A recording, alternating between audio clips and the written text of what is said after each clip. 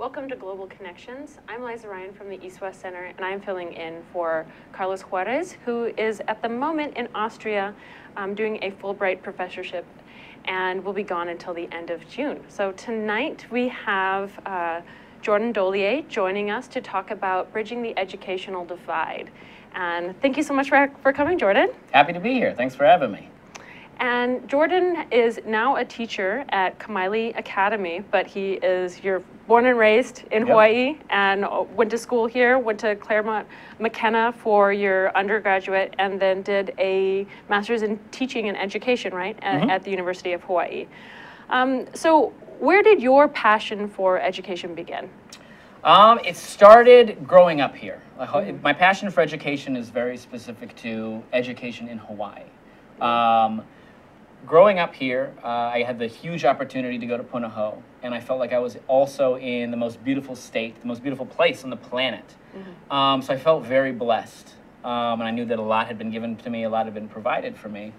And every single year, at the start of the school year, um, the president of our school, Dr. Scott, um, always said he had this big speech at the beginning of the year, and he would say, "To whom much is given, much is expected." And that always resonated with me because I was like, "Whoa, I've been given some stuff." Like, so I I need to make sure that what I've been given is put forth to the world, um, and that always went straight to education um, because through working with band, because I was a trumpet player in high school, I got to uh, work with a bunch of students across the state. I would, was in uh, states like bands, states like orchestras, and I, so I got to meet a lot of people. And I realized very quickly that well, we were all very similar. There was like truly no difference. I mean, I was I was not a I was working very hard to even compete with the rest of these like just such good trumpet players out there, um, and all other instruments, which is not Yeah. to say. Um, we were all wonderful people, but there was not an equity of opportunity. I was simply the opportunities educationally provided to me were somewhat different, um, and there are no difference in ability, um, no difference in the people, but simply in the opportunities provided. Um, so, in high school, I remember uh, really committing to the idea that I need to come back at some point to this state and make sure that everyone has that same opportunity I did, where you're growing up in the most amazing place, but you also equally have the most amazing opportunities. And that to me meant coming back, working in education, and working as a teacher. And, and you started your kind of adventure in education, as it were, in with Teach for America, correct? Absolutely. Um, so I applied to them, and uh, I got placed out at a school in Waianae. So I was thrilled because that's exactly where I wanted to be. I wanted to work out in a place where uh, educational equity wasn't necessarily on par with the rest of the state. And I wanted to work in a place that was new to me, that I wouldn't necessarily have been a part of growing up in town, growing up in Hawaii Kai. Um, and so I got to work at a school called Kamaile Academy, um, that at the time was a growing seventh and eighth grade school um, that was becoming a K 12 school. It was a really great opportunity that I sort of fell upon. Now, Kamaile is a public charter school. So when was it, when was it founded out in Waianae? So I don't know when it like it started started. Yeah. Um, but it went charter. So I was in 09. So in 08 it had its first uh, charter year. So it used to be a K6 school. It was the what you call a feeder school uh, for elementary. So it's just K through 6. And then the principal, who became the CEEO or Chief uh, Educational Executive Officer, um, he made it go to a what's called conversion charter school. So taking a school that is previously a public school and converting it to charter. And we worked under the charter management organization of Ho'okako'o, uh, which is an organization that's a branch of Kamehameha Schools. And they help, because if you go charter, you lose a certain amount of funding from the state. You still get some funding, per, what they call per pupil funding, um, but you get less. And the idea is that there's some other funder that's going to come in that like is going to be your board of education because you are no longer adhering to the specific board of education. Not any like negative like oh you're lo- losing the system or leaving us. It's simply that like if you're charter, you are having your own sort of checks and balances and your own board of education. Now, that's been a conversation that is really um, been persistent, I guess not so much in the last couple of years, but maybe four or five years ago, considering charter school vouchers. How, how do you see the charter school supplementing? Um, do you see it as a supplement to those that can't afford private school, or that because of uh, Hawaii's, you know, public education has been deficient in many ways? Or how do you see charter schools functioning in, in, in Hawaii specifically? Sure. Um, the safe and what I, what I truly believe the answer to that question is is that charter presents an opportunity. Mm-hmm. I think making a sweeping statement and saying charter presents the private school alternative, I think that's not necessarily fair.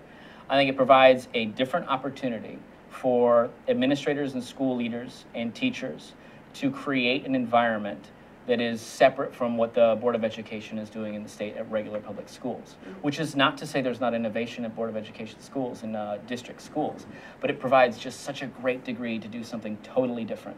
You are still assessed on the same standards, so to make sure that you are, you know, you're judged in a similar fashion.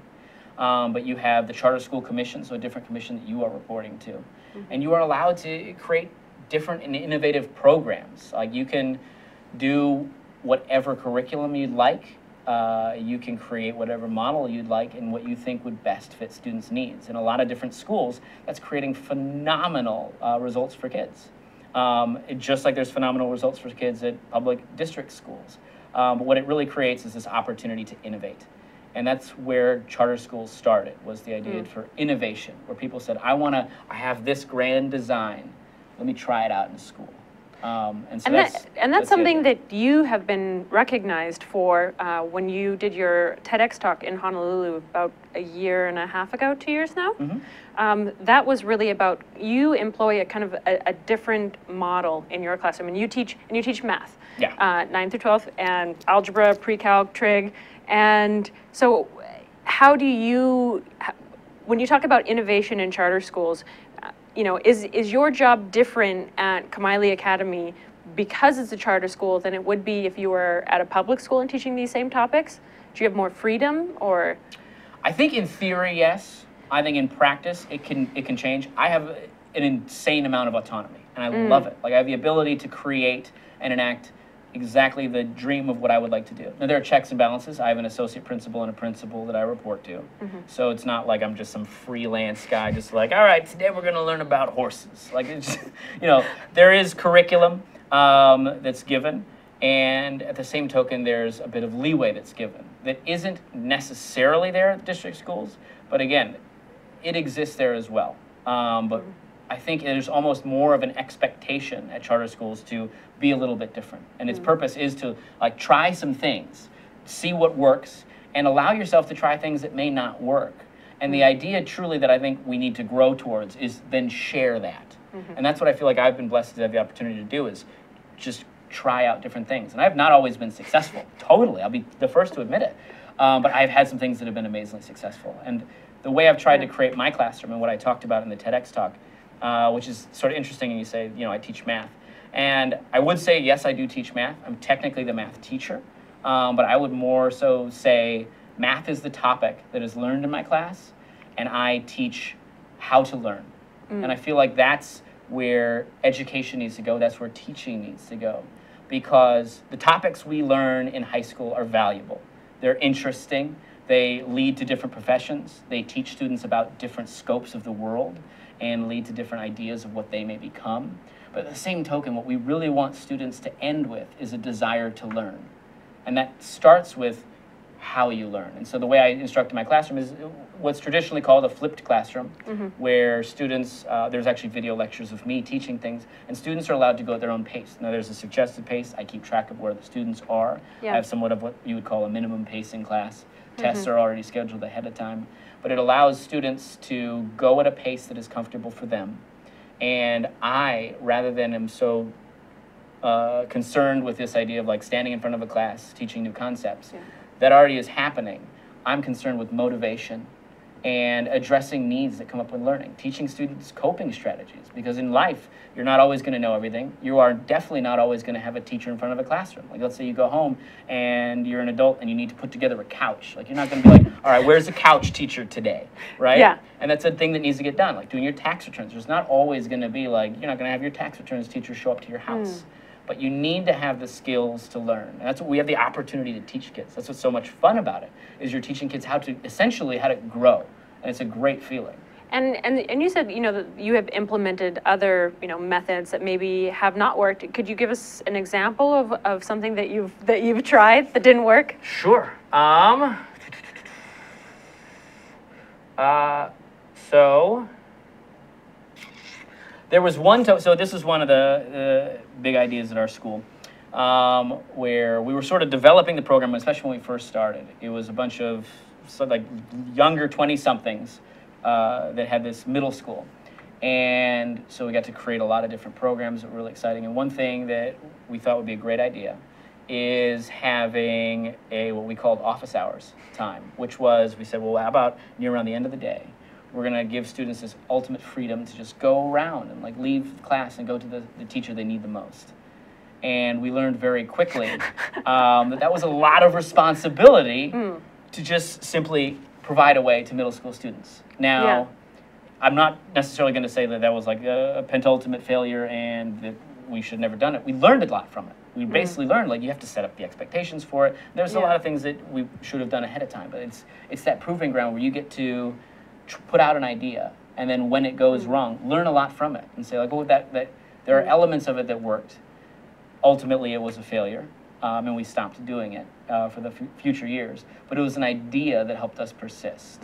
It was this idea of allowing students to be individually in charge of their own learning, and trying an option that failed helped us realize, well, we want that end goal, and if we provide too much of leeway, too much of this open avenue, maybe that's not how we need to do it. Obviously, in that case, yeah. but how do we do it then? And that's, I think, the most important thing I've learned at a charter school is uh, that it is the way you get better as a school program is by failing and allowing yourself to be comfortable with that and changing and adapting to it and growing from it to create a better program. Each year, I'd like to believe we're a better school. Okay. Um, because as we, as we institute new programs, we reflect on them almost immediately and say what part of that went well and what part of that did not go well. And let's keep the part that did go well and let's change the thing that didn't. And that is something that's really difficult to do when you when you set you know Common Core or national standards or state standards. You know that best practice model and being able to self-evaluate is something that it can be lost. While it's great that we set a minimum standard, being able to evolve past it and innovate is something. You know, do you think that's sacrificed with those state or national standards? Uh, not necessarily. I feel like that's something that needs to come together with them. And I feel like this the Common Core shift uh, has many phenomenal benefits in terms of the, the ideas and the ways of instructing and the ways of learning. Um, I think with that needs to come this idea of a growth mindset, where you're just as I, I said, the, my goal and my job is is to teach learning, as opposed to teaching the content, which is what I'm in charge of. Um, we also need to do that with our teachers, and you need to teach people how to grow, and that it is acceptable to fail, because the job of a teacher can be scary at times. It feels heavy to have something go wrong in your classroom, and you do feel like a lot of eyes are on you, and you feel like sometimes maybe the public thinks you're not doing a good job, and if you have a bad lesson, then oh no, or maybe you feel like your principles are like going to be around the corner. Um, but we need to start embracing this. And so you feel like you're always on guard and you want to always present this that every day went great and that every lesson went great and every idea was great. And we all know that's not necessarily the case. And the best way everybody learns is through this trial and error and growth from that. And I feel like that's what we need to do with the Common Core. I think it is inherent because we are trying to institute something big and something exciting and something new. And we have to recognize that we are going to make some missteps. We're going to make some mistakes. We have to be ready for them. And we have to not only be ready for them, but we have to love them and be excited about what we're going to make a mistake in and be mm-hmm. ready to change it and grow from it and know that that's going to make us better. Absolutely. And we're going to talk more about that when we come back from our break and talk about Jordan's philosophy of education. Thank you so much. Inspired by an ancient culture, classical Chinese dance, vigorous physicality, timeless stories, 5,000 years of Chinese music and dance, Shen Yun presents authentic Chinese culture. Coming to Blaisdell Concert Hall, May 8th and 9th. Tickets at shenyun.com or call 808 792 3919. Aloha, my name is Paul Jackson, better known as PJ, and my local interest is in sports. I have my own sports radio show at KWAI AM 1080 that you can stream live. I also have my own website, pjsportsradio.com. We have live guests in studio, and we talk about discussions and topics that everyone wants to know locally here on the islands. We cover everything from surfing to basketball to whatever's going on locally, sports-wise. We try to do our best and cover the topics in, in depth as much as we can. Once again, thank you for joining PJ here on Hawaii Sports Update. Mahalo. Thank you for joining us. This is Liza Ryan, uh, and this is Global Connections, and I'm filling in for Carlos Juarez, who's in Austria on a Fulbright professorship. professorship. And right now, we are talking with Jordan D'Olier about his work at Kamaile Academy out on Waianae and his own personal philosophy of education. So thanks again for being here, Jordan. And we were just talking about what it means uh, to have a, a flipped classroom and to teach kids. Now, you teach math, but at the same time, you were talking about how you don't necessarily teach math to your students, you teach them how to learn. Because we're not always going to have someone around, you know, to, to help us learn how we need to set up our own insurance or what kind of, you know, should we pursue another degree or is it more economically beneficial to be back in the workforce? You know, there's there's no there's no teacher to hold your hand in those times. So I would like to ask you just a little bit more about this. And you started, like I said, your adventure in education uh, with Teach for America, and which has recently come under some very strong critique. And I thought maybe if you could just talk about that and what your experience was like working at the same school, but at one point for Teach for America, and now just as a teacher, kind of on your own without Sure. that background. Um, so I think starting off in terms of like the philosophy of education, uh, a lot of things that I've learned in education were these big moments, right? And I think one big moment for me when I first started, I taught as many people do uh, how you were taught, right? So the way I instructed was how people instructed me. Um, and that was sort of my training in Teach for America. It was very, uh, there's, uh, I do, we do, you do is sort of the structure where I do something in the front of the class, and then we all do it together, and then you do it yourself. It's like you're alone, so then we can see that's how you sort of process the learning. Is I shared something, we're practicing it, then you're practicing it, then we'll see if you got it. Um, that's a very traditional way of going about it. And TFA has one thing I do like about it. Let's say uh, before we get into that topic is it has changed. It has been progressive, and I think that's phenomenal. I think it's usually under recognized that there are critiques against it. I've made plenty myself, but it adapts. It has, as an organization, taught many different things.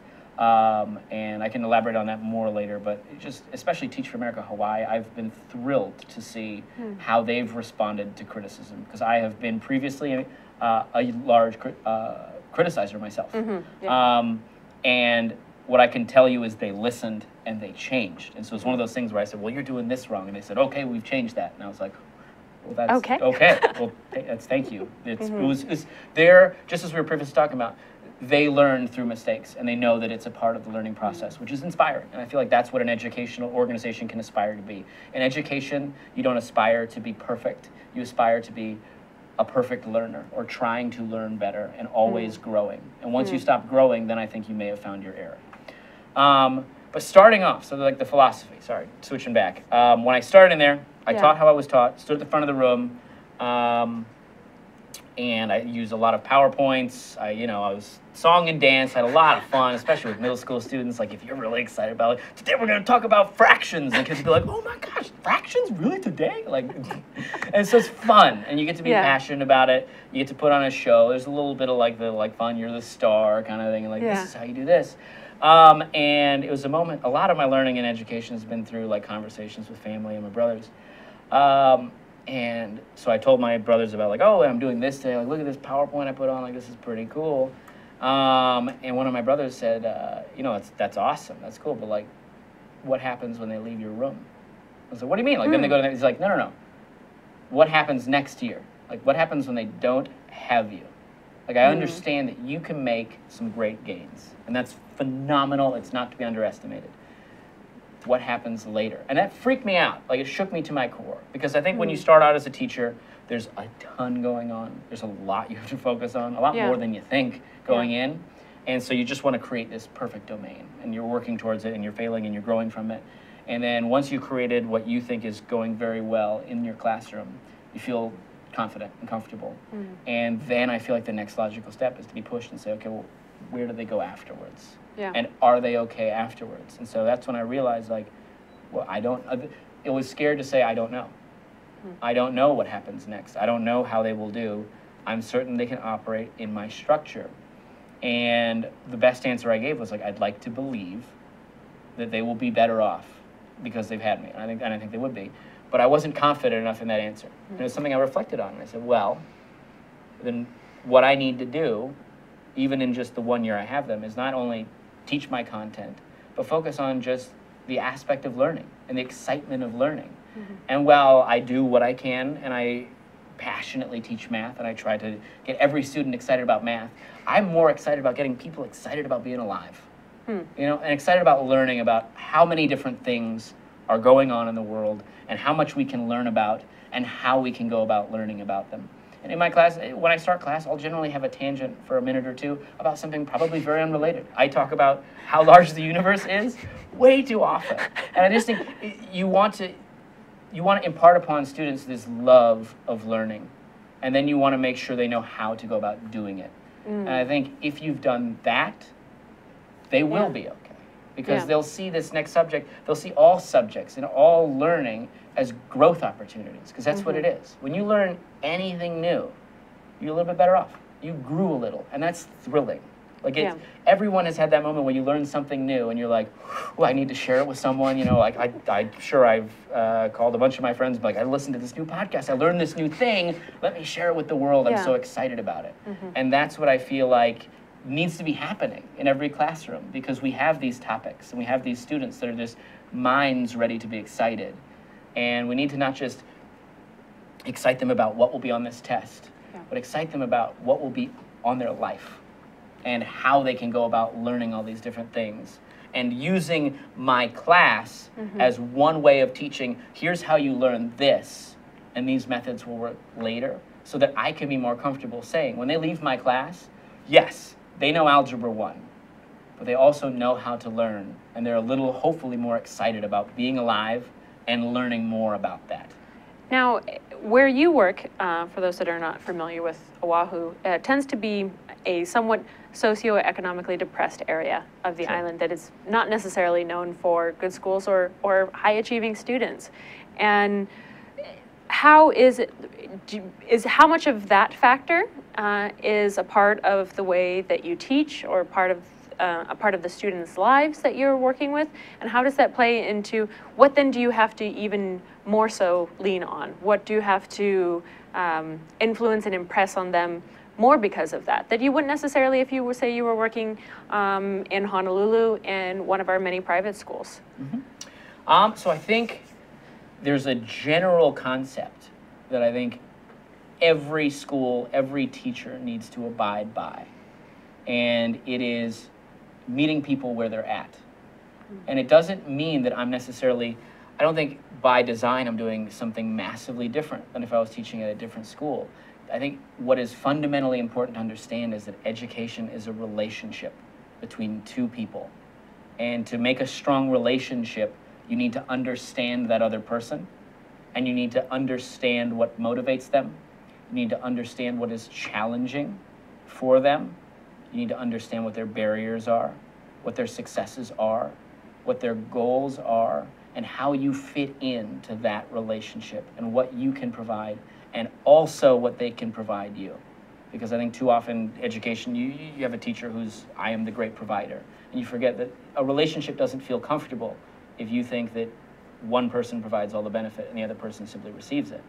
And so while there are challenges that exist that are not the same as some challenges at different schools, let's say, um, the fundamental concept is the same. I strive to understand my students, understand their needs, meet them where they are at, and help them grow from there.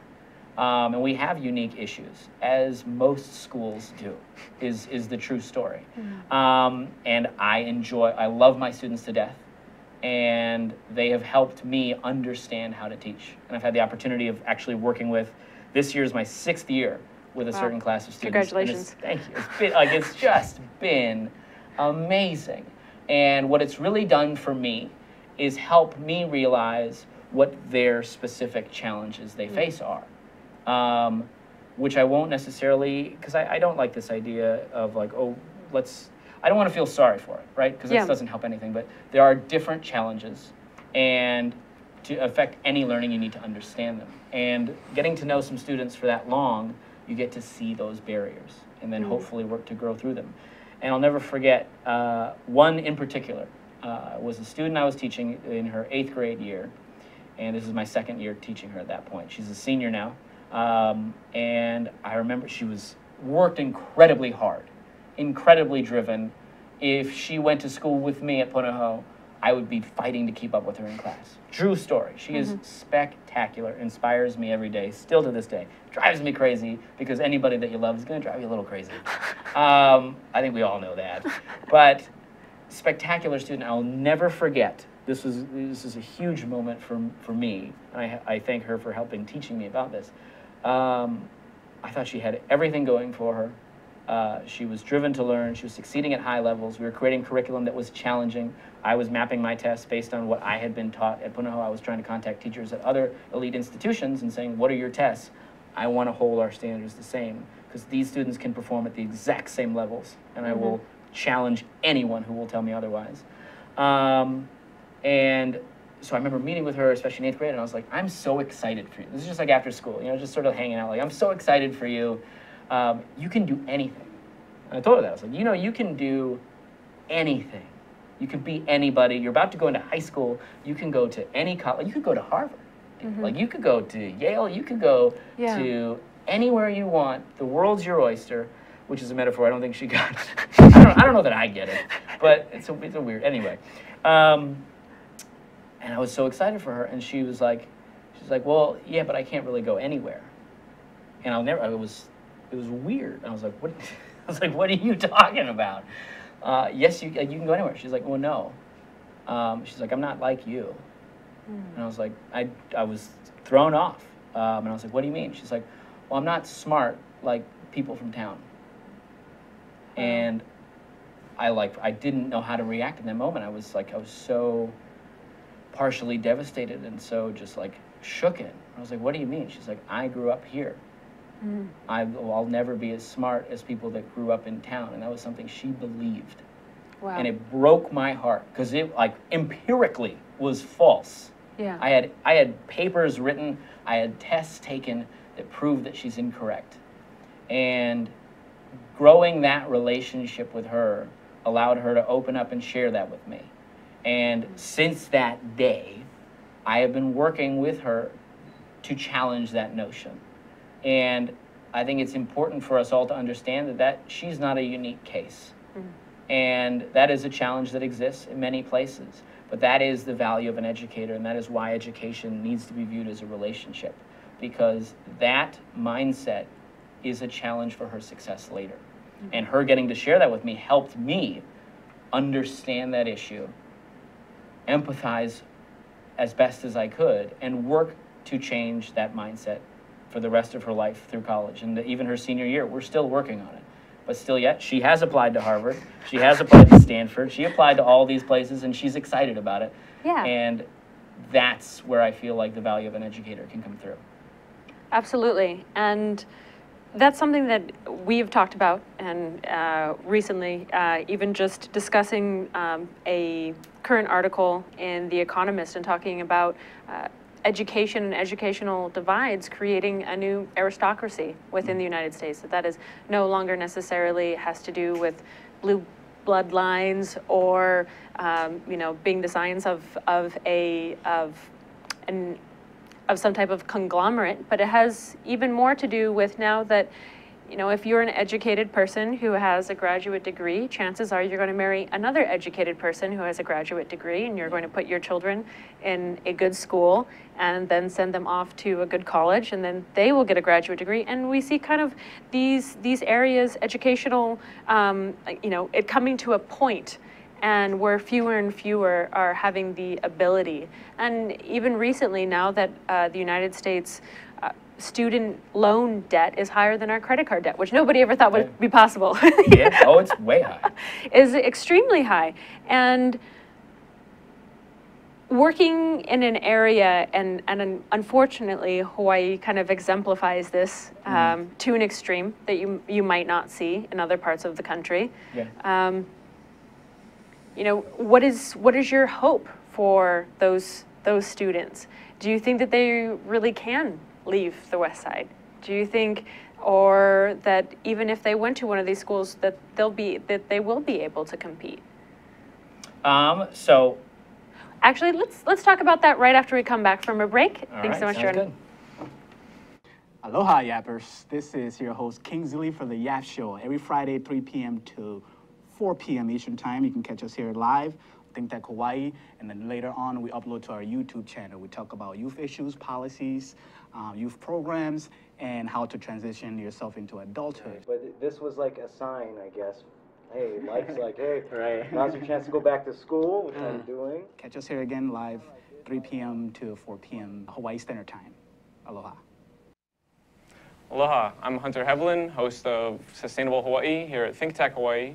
You can tune in every week on Thursday at 2 p.m. to see interviews with sustainability professionals from around the state and even further abroad, learning about activities with water management, food security, waste management, and a whole host of other uh, fascinating opportunities to get engaged with making a greener island. So if you're interested in making the transition from consuming individuals to communities of producers, check us out every Thursday.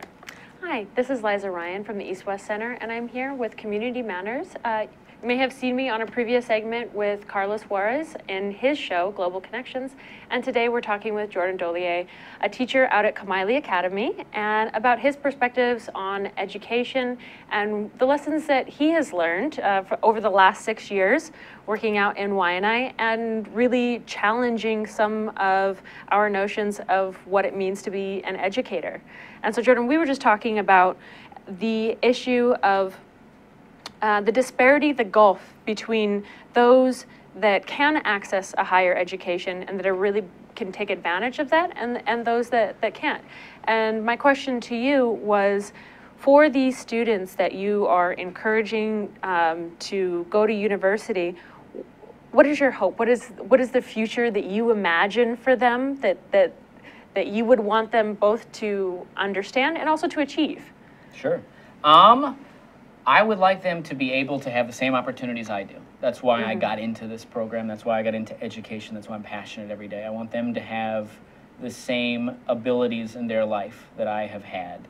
Um, and I also want them to understand, more specifically to my school, uh, the idea of kuleana, um, as we have taught it in our senior year, which is this understanding of how something special about you can lead you to provide for the planet around you. And so that's something that we impart upon them as they leave is they need to understand their kuleana in the understanding that uh, what is their special gift uh, that is unique to them, that they are enabled to better the world around them. What are they responsible for?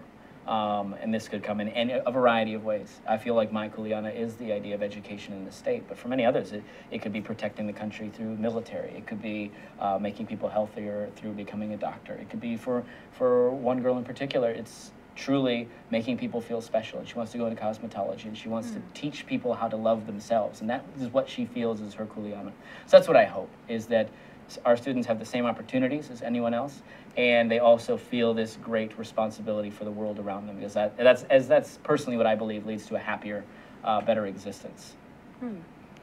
And as we were talking about, uh, you know, one of the discussions that we've had is that sometimes when these students are put in high achieving or in a college surrounding, you know, like that story you shared, breaking out of that mentality that they're really not as smart as the, the other students that are in this environment, in, in a college environment, can be really damaging and distracting.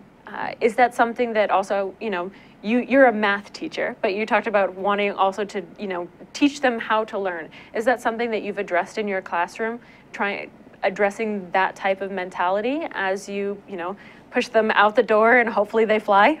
Uh, I think the answer to that is sort of yes and sort of no, in that that conversation is, I don't think it's a lecture. I don't think it's something that goes to uh, a group of students. I think it goes to each individual. And I've had a conversation of that regard to every single student I've ever taught. Um, which doesn't mean I'm telling each of them that, because not all of them have that specific barrier of this place that I'm from is different from the place that is over there. But they all have different challenges. And so that conversation has always existed. And to readdress just what was proposed over break, uh, do I think that students from Waianae and the students I teach can achieve the exact same levels and have the exact same success as anyone else in high school and college? Absolutely yes. Uh, I think there is no difference um, in the children that go to the school I teach at and the children that go to school at, let's say, Punahou, Iolani, Kamehameha, Mid Pacific, the rest. Yeah. Um, I think what we need to understand, and this is sort of how I got to understand it, is what are these barriers? Um, and what is the reason that, let's say, you'll have a higher college going rate at one school versus another? And I think we need to stray away from comfortable notions of simply there's a common notion of laziness or uh, unpreparedness and see the root of an issue. And I remember I, I got to have a sort of firsthand account because I remember growing up when I was taught um, grades were the biggest deal in the whole world, right? Uh, if I didn't get a good grade, I was terrified that my mom was just probably just going to end me. Like that'd be it. If I got like a C, my mom would be like, "Well, this one's not worth it." Um, so that was just the big motivator for me. And so then when I started teaching, I was like, you know, that was what I thought. Everyone's motivated this way, right? That's must be the only thing on your mind. Um, and so I remember going into class and a, a student was necessarily misbehaving, and I was like, if you don't do this, it's going to affect your grade. And they looked at me like I was crazy. They're like, okay. And I, in, my, in my head, I was like, how can you not Yeah. care only about your grade? What else is going Like, mm-hmm. I was surprised because it was different from what I had learned. Mm-hmm. Um, it was a growing moment for me because then I reflected on it and I ended up doing my master's thesis specifically on student motivation. Mm. Because I was like, this is, I saw that as a key thing. Like, how do you motivate students? How do you get people to want to learn? How do you make them intrinsically motivated to love learning? And one thing in particular I learned about was the idea of hygiene factors, or things that need to be in place for someone to even be motivatable, let's say. Yeah. And I think this is where the job of a school expands. And it's challenging, but it's exciting. And hygiene factors are things like making sure you have your next meal cared for, making sure you have water, making sure you are loved, making sure you feel safe. And these are things that are not universal goods. And I think that is the big challenge. And I think that is the perspective that we all need to get when we look at education. That it is not simply a teacher is teaching better and that is giving this test score, um, which is not to let every teacher off the hook, let's say, but it's that this is a deeper issue. It's the issue that has helped create one of the most massive successful educational structures in the Harlem Children's Zone and the Promise Academy, where you have someone like Geoffrey Canada say, education is not just about a lesson and it's not just about a topic or a test.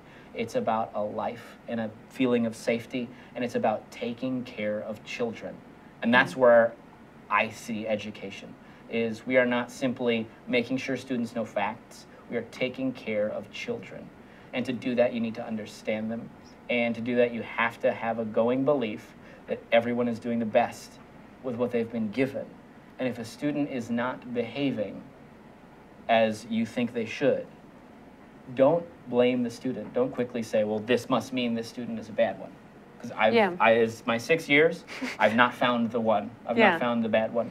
Uh, and this is one thing I've always done to check myself, and this happened even recently. If a student's misbehaving in my class, I always have this like I pause and I say like, there's probably something else going on, and like I, I genuinely have to check myself because it's very easy if someone's Yeah. off task, off topic, to want to say, hey, what are you doing? Yeah. Again, be like, this child is choosing to make me mad. Uh, you know, like they woke up today, they said, in Mr. D's class, I'm gonna like, I'm gonna put my pencil over here so he's mad, like this. and so you just, you feel that and you wanna get Yeah. it back. Um, but I always check myself and say, there's probably something else. Mm -hmm. Talk with him outside really quick. A hundred percent of the time, this has ever happened in six years, there was something else. And I, this one broke my heart recently because I I'm not a perfect person. I'm not a perfect teacher. Sometimes I don't do that as well as I'd like. And this is literally three weeks ago.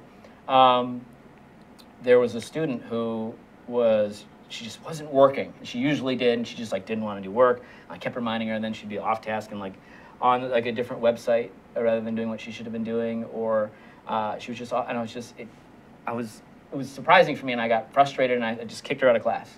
And she was being, ne- oh, that's too, she was being negative, which she rarely was. She was like, I don't even, this is way too hard to do. None of us are gonna be able to do this. And I was like, you need to get away from other children. Like, that's a scary, just don't tell anybody else that. That's the opposite of what I'd like you to believe. Yeah. Um, and so I kicked her out, and I was just, I remember talking to her. I, I, I, I genuinely feel bad about this now. Uh, and I, I've apologized to her, but I still feel bad about it. But I thought at school, I was like, I don't care what's going on. Like, you have no right to convince other people that they can't learn. Like, you are getting in the way of others learning. You have no right to take your needs above the needs of others. And I was very stern with her outside of class, and I was like, uh, and then, then she came back in and was like working, but it was, it, it wasn't a great day. Yeah. And I was frustrated, and she was frustrated. And um, she sought me out uh, later that day at lunch, and she's like, "Mr. D, I just want to apologize for like really messing up your class. Um, my uncle died yesterday, and I'm really not okay, and I just wasn't focused on what we were doing, and I like I broke down. I was like, I am so like so genuinely sorry. Yeah. I assessed you on the wrong level. Mm-hmm. I didn't give you the benefit of the doubt. I assumed this was an issue self contained within you.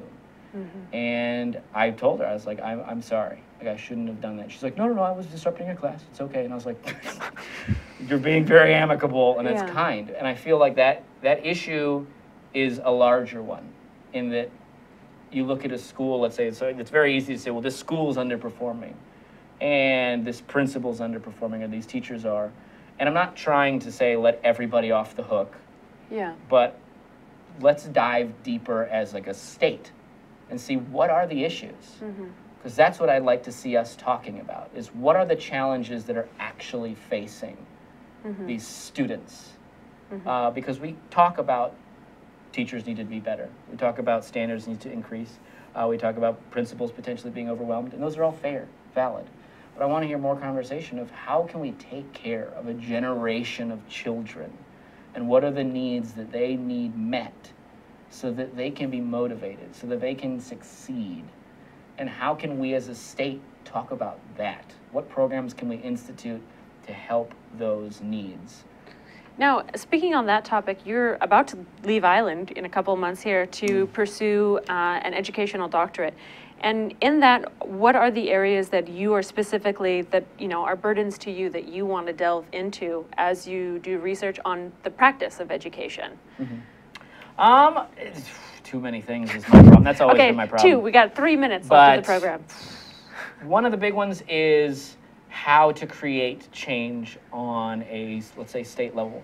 Um, how to enact a change that exists for students and is bought into by teachers. Because I feel like that's the great thing we need here is we need unity, where we need ideas that are built from teachers, that are supported through the entire system, where we grow, again, unity as a state. Uh, mm-hmm. Because I feel like that is something that students learn from. If there's a divide in adults, students learn from that divide, and it creates divisiveness through and through. Your students are learning literally everything from you. So if you have a bad relationship with someone, they are learning that too. So a, a degree of unity and how we can create unifying policies to make everyone on board, um, which is not to say that there, anyone is specifically at fault. I just think that's what we need. We all need to be together on this.